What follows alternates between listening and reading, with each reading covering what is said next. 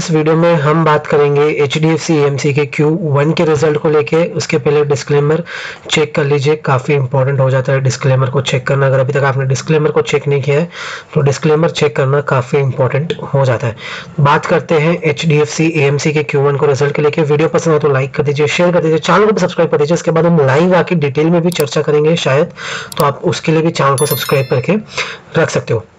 बात करें तो डिविडेंड की तो ऐसा मुझे कोई डिविडेंड दिख नहीं रहा है तो ठीक है।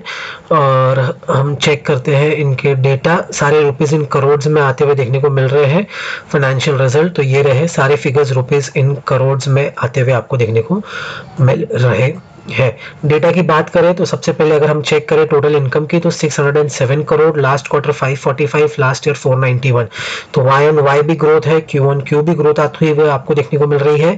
एक्सपेंसेस इन लाइन रहते हुए देखने को मिल रहा है तो जिस प्रकार से कंपनी का प्रॉफिट बढ़ा है, उसी प्रकार से कंपनी का एक्सपेंस भी बढ़ता हुआ देखने को हल्का बहुत मिल सकता है। बात करें net profit for the period की तो प्रॉफिट आफ्टर टैक्स की पीएटी की बात करें तो प्रॉफिट आफ्टर टैक्स जो आया है 345 करोड़ का आया है। लास्ट क्वार्टर 360 116 करोड़ था लास्ट ईयर 302 करोड़ था।